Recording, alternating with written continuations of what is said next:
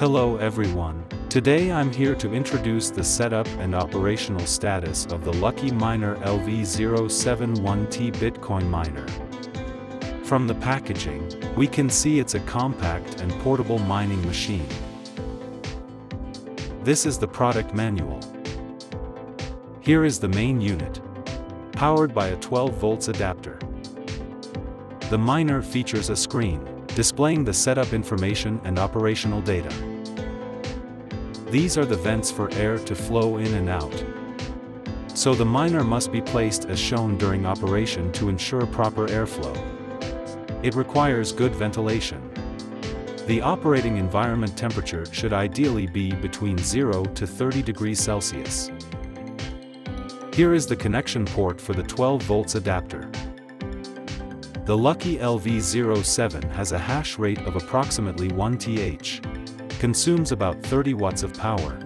And under normal conditions, the noise level is around 40 decibels. It connects via Wi-Fi for operation, which can be managed using a mobile phone or laptop. Next, I'll demonstrate its use using a laptop. Connect the adapter to power it on.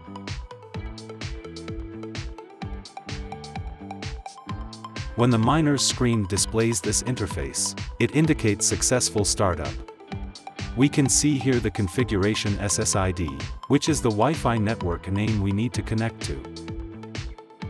Now, we need to proceed with the setup on the computer. Find the corresponding Wi-Fi name from the device in the Wi-Fi list and connect to it. Then, click on Settings in the pop-up window. First, enter the Wi-Fi SSID, which should be the home's 2.4 GHz network, and input the corresponding Wi-Fi password, using only alphanumeric characters, no special characters. Next, enter the mining pool details. The manual lists supported cryptocurrencies and their respective optional mining pools, or we can use our own mining pool. Ensure the port matches the mining pool settings. Enter the wallet address here. The password is optional. Finally, adjust the operating frequency and voltage. Typically, we can choose between 550 MHz or 575 MHz. For 500 MHz, the voltage is 12.5 volts, while for 575 MHz, it's 13 volts. These two settings are for fan control, both are already checked by default. Once all settings are configured, click Save. We'll see a confirmation of successful saving. Then click Restart. We'll receive a confirmation of successful restart. The screen will now display the IP address 192.168.5.14. Enter this address to view the miner's operational information.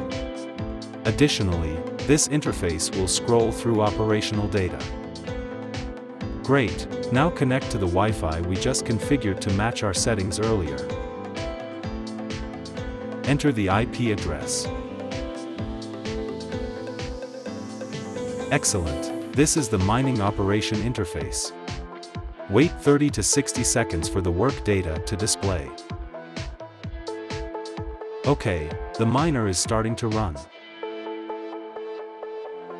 Here, it shows real-time hash rate, and this one is the operational efficiency. It also displays power consumption, input voltage, ASIC chip operating voltage, ASIC chip operating temperature, and fan speed. This is the operating frequency we set earlier. This is also the ASIC chip operating voltage. Then, here's the mining pool information.